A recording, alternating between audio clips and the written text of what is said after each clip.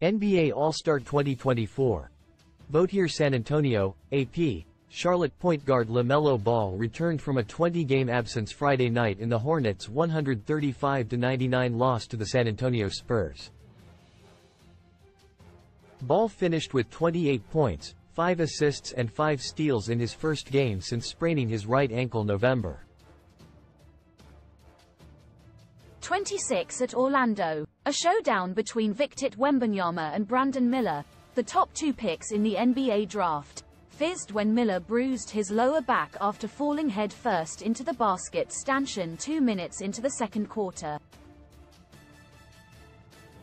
Wembanyama had 26 points and 11 rebounds in 20 minutes.